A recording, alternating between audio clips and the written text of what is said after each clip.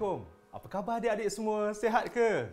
Uh, hari ini bertemu lagi dengan saya, uh, Azizur Rahman, akan kongsikan satu tips bagaimana mengubah perkara-perkara negatif kepada positif. Ha kan berubah amalan negatif sebelum ni yang kita buat malas baca buku dan sebagainya kita ubah kepada suka buku, suka pelajaran. Ha hari itulah topik kita. Jadi adik-adik semua sebenarnya kan dalam kita dalam hidup kita ni semua orang nak berjaya kan apa cita-cita adik masa kecil dulu? Ha, masa kecil, sekarang pun kecil lagi kan? Masa mungkin tadika darjah satu dah cita nak jadi apa? Jadi cikgu, tengok jiran sebelah rumah, lawa, kacak, handsome, cikgu. Nak jadi cikgu, tiba-tiba jumpa pak cik pula, pak cik pula uh, apa kerja sebagai polis, nak jadi polis, berubah-ubah kan? Ikut apa yang kita nampak, kita suka. Betul tak? Jadi maknanya adik-adik, semua orang daripada uh, kecil telah nak menjadi percaya. Ah, bila kita belajar, habis pula uh, darjah 6, kita nak masuk sekolah selama penuh yang Mara SM. Habis pula tingkatan 5, nak masuk universiti, ada yang ma- nak masuk form 6, ada yang masuk IPTS, ada yang masuk IPTA. Dah bila masuk universiti pula nak berjaya dapat skor, dapat anugerah dekan dan menjadi pelajar terbaik universiti dan seterusnya. Apabila mereka dah dapat yang baik, mereka juga bercita-cita untuk mendapat pekerjaan yang baik sehingga menjadi pekerja contoh terbaik dalam organisasi. Semuanya bermula daripada pemikiran yang positif.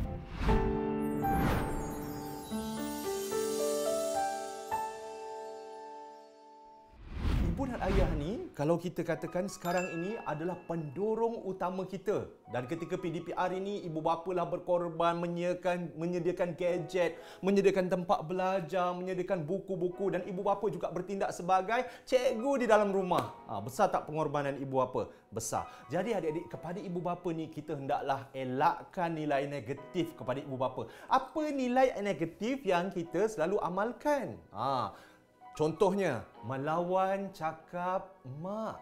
Ha, melawan cakap ayah, melawan cakap kakak dan abang di rumah, bergaduh dengan adik kita. Ha, tukar yang negatif itu kepada yang positif. Apa dia yang positif? Bercakap baik dengan ibu dan bapa, bersopan santun, nampak ibu balik kerja. Ibu balik kerja, Bu. Ha, ibu balik. Ibu penatlah uh, nilung. Dia kata, kejap ya Bu, kita pun pergi dapur, ambilkan air pada ibu. Ha, ibu ni air teh, Bu. Okey, Bu? Ha, Okey. Jadi ibu jadi macam mana? Ibu jadi, baik anak aku ni syukur. Sejuk hati seorang ibu, sejuk hati seorang ayah. Kerana melihat di hadapan mata anak yang dilahirkan ini mempunyai nilai sasiah yang baik, akhlak yang baik. Ha, ibu mana yang tak nak anak baik? Ayah mana yang tak nak dia baik?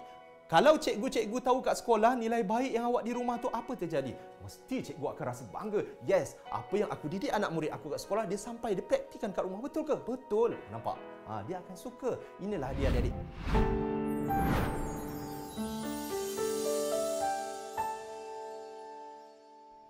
Semua orang nak berjaya adik-adik. Ha, ingat tak? Caranya ialah apabila kita nak pergi sekolah bermula daripada rumah, bermula daripada rumah kita dah fikir, dah set dalam kepala kita bahawa kat sekolah nanti kerja rumah dah siap, dah rapi semua ni. Ha, kan nak pergi sekolah, dah kena set daripada fizikal kita dah set. Semua dah set. Jadi minda kita, emosi kita mesti seronok pergi sekolah tak kira lah nak menyanyi ke nak berselawat ke Terbitnya sinar mentari. Tak kisahlah. Salam ibu bapa Cium ibu bapa Ibu bapa pun doakan Minta doa ibu bapa Kita pergi sekolah. Bila kita pergi dengan ceria Sebab fikiran kita dah positif Maka dalam kelas Orang tengok kita ke Eh Rahman lama tak jumpa. Eh Ahmad lama tak jumpa. Jadi dia akan memberi Apa dia Getaran yang positif Pada rakan-rakan kita. Rakan kita pun shake hand. Tapi Oops Hari ni pandemik COVID-19. Tak boleh shake hand. Bye-bye saja. Hai, lambai aja. Penjarakan sosial kena patuhi. Maka getaran-getaran yang positif ni adik akan mempengaruhi rakan-rakan yang sedih nasibku dirundung malang. Bila nampak adik dia ceria. Cikgu nampak adik pun ceria. Nampak tak bagaimana power hebatnya orang yang positif ini dari segi emosi akan mengubah tingkah laku jadi ceria. Ha, itulah dia orang yang positif. Dalam masa yang sama adik-adik, apabila kita belajar ini, apabila kita tanamkan positif walaupun susah macam mana cikgu ajar matematik ke bahasa Inggeris ke sains ke tak kira lah kan. Kalau skor rendah, maka cikgu selalu kata buat latih to be, buat ulang kaji, lebihkan masa belajar. maka adik-adik kena mempunyai motivasi dalaman yang tinggi. Ha, kalau kita kata, uh, kalau kita balik semula seperti yang saya ceritakan dulu bagaimana melalui teknik jeda, uh, siapa teknik siapa yang perkenalkan teknik jeda? Ingat tak? Uh, Dr. Marty Lobdell daripada Amerika. Dia kata berhenti seketika. Kalau kita belajar 2 jam, kita berhenti setengah jam. Ataupun 25 minit, 5 minit, kita buat aktiviti renggangan, nyanyian, makan, minum, menyanyi, buat exercise, tak fikir pelajar lagi. Lepas tu masuk uh, habis 5 minit kita belajar balik semula. Ah uh, itu teknik Marty Lobdell uh, untuk mengel- untuk recharge kita punya otak semakin aktif dan bertambah tenaga. Ha, itu teknik mati Lobdell. Jadi adik-adik, bila kita belajar, kita latih tubi banyak-banyak, sebenarnya bila kita banyak latih tubi, motivasi dalaman adik-adik telah sedia ada. Best.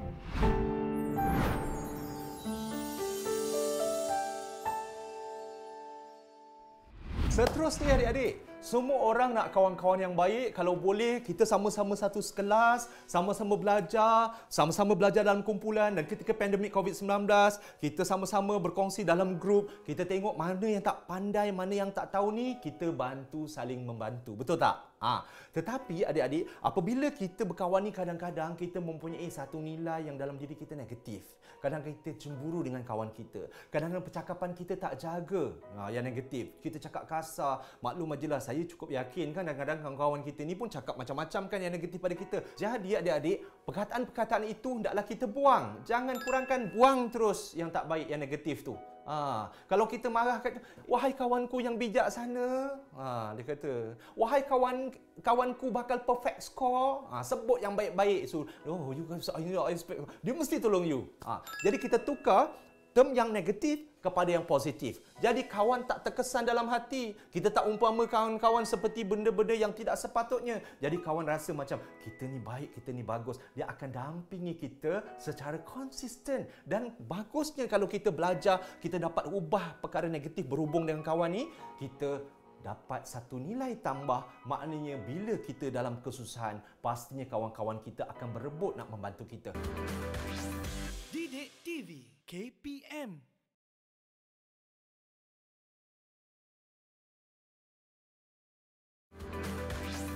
Didik TV KPM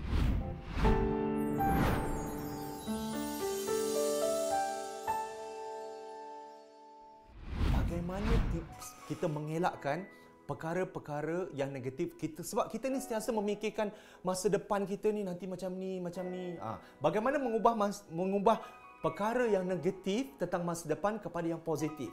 Maknanya mengelakkan perkara negatif ataupun fikiran negatif masa depan dan kejayaan kita. Selalu kita fikir, aku ni orang susah, aku ni tak boleh berjaya, aku ni tak pandai matematik, mesti aku tak masuk universiti. Aku ni tak pandai bahasa Melayu, nah, mesti aku fail, tak boleh kerja kerajaan, tak boleh macam. Kita dah tanamkan satu perkara negatif dalam minda kita yang kita tidak boleh berjaya. Ha, ingat eh? Okey. Sebab saya ingat uh, satu pelomba uh, apa tu Formula One, Michael Schumacher. Ha, Michael Schumacher kata, kalau seandainya kita suka pada suatu benda itu, motivasi akan ada di situ dan kita pasti boleh berjaya. Ha, kalau kita tengok Schumacher kan bagaimana dia bawa uh, apa tu uh, kenderaan Formula One, bagaimana dia menjadi salah seorang pelumba terbaik dunia dalam Formula One. Begitulah adik, kerana semangat dia telah ada di situ. Ah, jadi di situ adik-adik boleh tanamkan dan ambil iktibar daripada apa yang diungkapkan oleh Michael Schumacher dalam diri adik. Kalau adik dalam mempunyai motivasi itu, eh I'm not good in mathematics. Adik-adik semua, saya tidak bagus daripada matematik. Tetapi saya buat ulang kaji satu hari kadang-kadang sampai 15 kali satu soalan. Akhirnya boleh ingat lekat. Ingat lekat lama-lama tinggal latih tubi 3-4 kali sahaja. Ha, banyak kena macam ibarat satu batu adik-adik. Kalau kena titis lama-lama akan melekuk juga akan lekuk juga. Begitu juga kepandaian kita. Kalau kita tak pandai satu benda kita kena belajar kena belajar kena belajar kena belajar. Ha, cuba tanya kawan-kawan yang berjaya macam mana dia belajar? Tak cukup satu jam. Dia belajar 2 3 jam 4 jam 5 jam ada yang 6 jam. Sebab itulah dia berjaya banyak belajar dihabiskan dengan buku dan meja belajar, insya-Allah adik akan berjaya. Banyak tenaga digunakan untuk latih tubi, insya-Allah adik akan berjaya. Banyak masa dihabiskan dengan latihan berkumpulan, adik akan berjaya. Banyak berjumpa cikgu untuk berbincang, adik akan berjaya. Tumpu fokus kepada pelajaran, adik akan berjaya. Maka daripada situ adik akan mengubah masa depan adik. Adik pun berfikir dapat tenaga, energi yang kuat. Insya-Allah aku akan berjaya. Insya-Allah self talk cakap dalam diri aku boleh berjaya aku boleh berjaya. Dalam masa yang sama bila result keputusan tak tahu tak kiralah ujian bulan atau semester keluar adik akan rasa confident adik akan meningkat daripada sikit naik naik naik dan akhirnya adik akan mencatat keputusan yang hebat yang paling baik dalam peperiksaan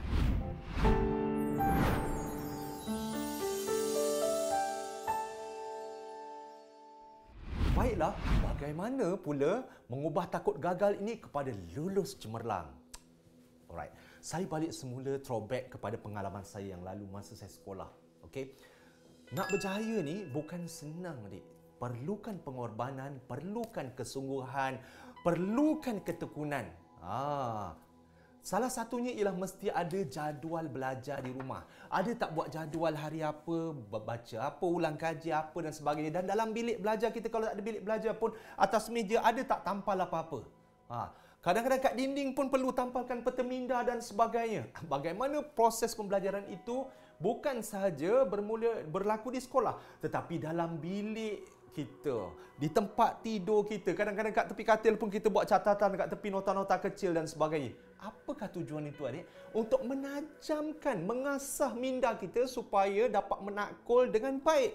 Apa yang cikgu sampaikan, apa yang cikgu ajar bukan saja melalui PDP RPDPC tetapi melalui perbincangan secara WhatsApp kumpulan. Ah, daripada situ adik akan perlahan-lahan berkayuh-kayuh akhirnya dapat menguasai satu topik dengan baik. Masa pula banyak dihabiskan. Pengurusan masa sangat penting.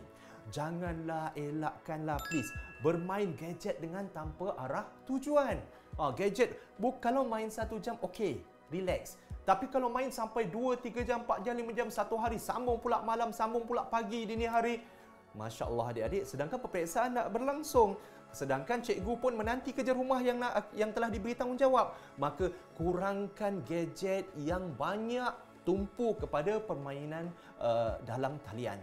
Tetapi tukar kepada penggunaan gadget untuk belajar, untuk melihat mungkin YouTube, mungkin searching konten-konten yang perlu untuk menjawab tugasan yang cikgu berikan. Barulah jadi murid yang baik. Dalam masa yang sama, nak lulus periksa dengan berjaya ini, kena buat satu kita kata output pembelajaran. Selalu kita baca kan. Kali ini kita berangan. Orang kata berangan. Eh. Bukan berangan lah. Kita buat latihan macam kelas peperiksaan. Kita set contohnya ni telefon kita tengok berapa minit kita latihan. Okey, contohnya satu jam kita jawab peperiksaan kan. Soalan pemahaman contohnya. Kita pun menjawablah cukup. Okey, 15 minit lagi. Okey, semak buat latihan. Apabila kita belajar secara output, kita mengeluarkan balik sama ada kita menjawab peperiksaan, contoh jawab peperiksaan dan soalan-soalan ramal, bukan soalan ramalan, soalan-soalan yang berbentuk seperti peperiksaan ini, dia akan dapat membantu adik-adik menyesuaikan diri dalam peperiksaan sebenar. Jadi bila periksa berlangsung, adik tak kelang kabut, itu terlupa macam mana ni patut berapa jam, ini patut macam mana nak jawab. Dah tak ada kekeliruan.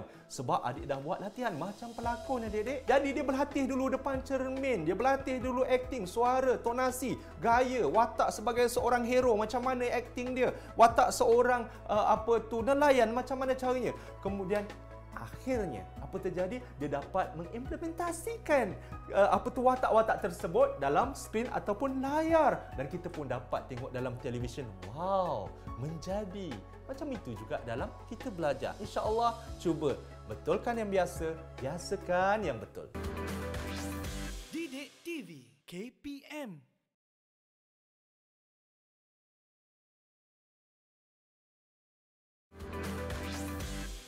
TV KPM.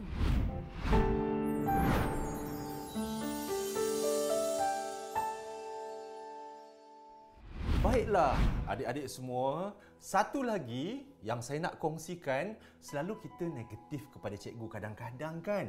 Jadi kita kena ubah sikap positif suka kepada cikgu. Bila kita suka kepada cikgu, cikgu baru sayang kepada kita, beri perhatian kita dan akhir sekali apa cik, apa adik-adik? Kita akan dapat keberkatan dalam menuntut ilmu.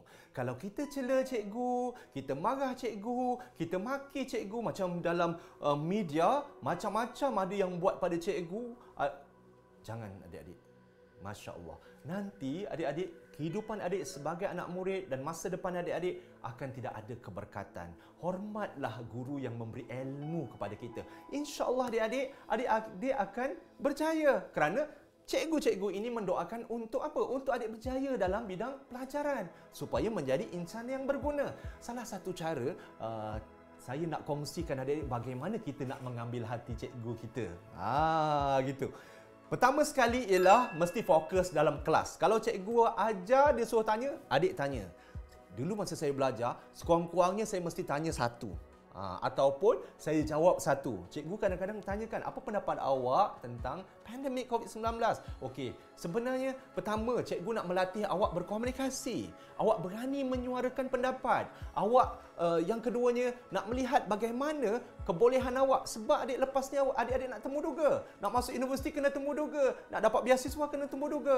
Habis kat dalam universiti itu kadang habis tu kena temu duga lagi masuk alam pekerjaan. Betul tak? Jadi daripada proses sekolah itu cikgu dah ajar soft skill ah bagaimana menghadiri temu duga bagaimana berkomunikasi bagaimana bercakap jadi di situ cikgu betulkan ah Daripada proses itulah maka adik-adik akan dapat menakul bukan saja konten dalam pengajaran pembelajaran tetapi sasiah yang baik ketika berkomunikasi. Nampak macam mana peranan uh, cikgu-cikgu kita membantu kita. Dalam masa yang sama gunakan elemen personal touch. Apa dia personal touch tadi? Ah T trusting mesti percaya pada cikgu cikgu yang mengajar kita ha, janganlah kita mengkhianati cikgu ataupun kita menghardik cikgu ada cikgu tu bukan betul sangat no kita cakap dengan ibu bapa kita pun dah berdosa.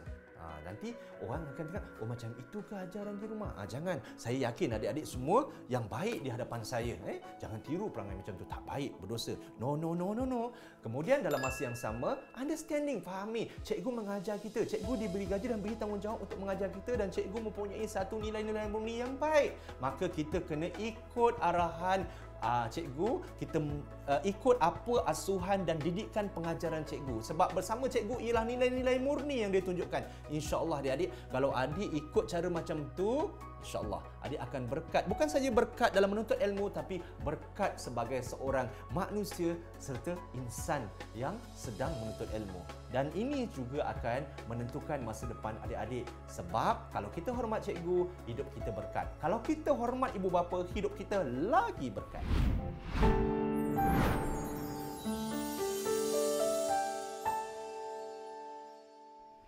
Dan tips terakhir ialah dia apa dia? Mengubah sikap negatif kepada sekolah tukar kepada sayang dan suka kepada sekolah. Ha, ini sekolah ni tempat kita belajar, tempat kita menuntut ilmu, tempat kita berjumpa kawan-kawan indah dan cantik. Mulianya institusi sekolah ini sebab menjadikan kita pandai membaca, pandai mengeja, pandai mengira, pandai bersosial, boleh masuk ke kurikulum, boleh berbahas, berdebat, berpantun, menyambut berbagai sambutan termasuk sambutan raya adik-adik. Jadi kat sekolah ni jangan buat vandalism. Kalau seandainya kawan buat vandalism, nasihatkan dia laporkan kepada cikgu. Sebaliknya kita kempen kalau nampak sampah, kita masuk tong sampah. Kalau nampak tempat-tempat yang rosak, kita boleh betulkan, kemaskan. Sifat baik adik yang adik tunjukkan ini akan menjadi role model kepada ratusan pelajar di sekolah di mana hati mereka yang tak suka sekolah, hati mereka yang vandalism pada sekolah, yang suka melakukan kerosakan akan bertukar kepada positif. Ha, ini salah satu amalan yang baik. Jadi adik-adik, sekolah ini adalah tempat yang mulia, tempat di mana semua ibu bapa kita juga belajar. Jadi adik-adik kena sayangkan sekolah. Kerana kalau adik tak sayang sekolah, siapa nak sayang sekolah? Kalau kita tak ada sekolah, boleh kita kita belajar tak? Tak boleh kita belajar. Kalau sekolah tak ada, cikgu tak ada, pengetua tak ada, guru kaunseling tak ada. Ha, papan hitam putih pun tak ada keperluan semua tak ada dan kita tak dapat menuntut ilmu. Kerana sekolah adalah wadah ilmu yang kita kena sayangi selalu. Cintakan sekolah, sayang sekolah. Barulah jadi murid yang baik dan cemerlang. InsyaAllah. Akhir kata adik-adik, tanamkanlah sifat bersyukur dalam diri kita. Bila kita bersyukur, hati kita akan jadi bersih. Ha, jadi, apa yang kita dapat tunjukkan, semua alat-alat tingkah laku positif ini akan memberi nilai baik bukan saja kepada diri kita, tetapi kepada ibu bapa, kepada imej sekolah, kepada cikgu yang mengajar kita. Barulah hidup kita akan berkat. Amalkan sifat ini, Kongsikan dengan kawan, berikanlah getaran positif ini kepada semua rakan-rakan anda. InsyaAllah, kalau anda baik, rakan-rakan anda baik, insyaAllah anda akan jadi manusia berguna yang terbaik satu masa nanti. Akhir kata, sampai kita berjumpa lagi dalam rancangan Kaunselah Anda semestinya di Didik TV KPM. Sampai kita jumpa lagi. Bye.